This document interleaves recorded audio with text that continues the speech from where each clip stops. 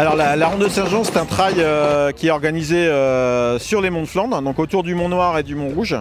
C'est une course organisée pour euh, financer les activités pédagogiques au niveau de l'école Saint-Joseph de Saint-Jean-Capelle. on existe depuis 7 ans, mais c'est la première année qu'on fait un trail, puisque les années précédentes, on faisait une course sur bitume classique de 10 km.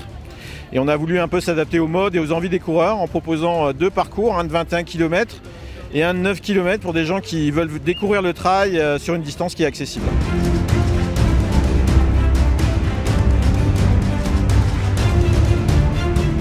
Alors c'est des parcours qui passaient euh, pour le 21 km sur le Mont Noir et sur le Mont Rouge. Euh, et pour le 9 km uniquement sur le Mont Noir avec un passage euh, dans le parc Marguerite Yourcenar avec la fameuse montée de l'Ogresse et une descente le long, de- le long des étangs des Trois Fontaines.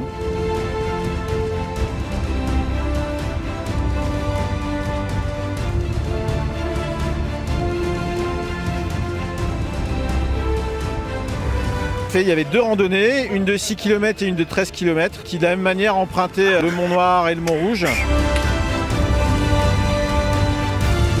Aujourd'hui, c'est une centaine de bénévoles qui est intervenu sur l'événement. Et tout au long de l'année, c'est une équipe d'une dizaine de personnes qui euh, prend en charge l'organisation de l'événement, qui est assez, euh, assez lourd.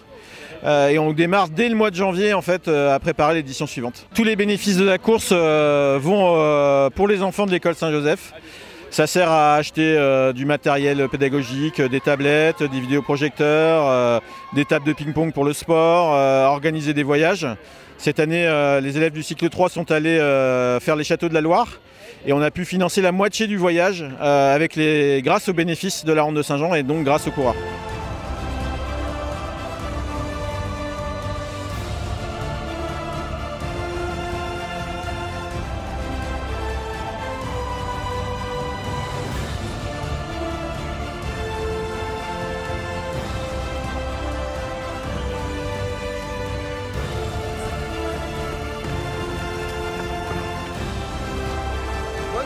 faisable, oui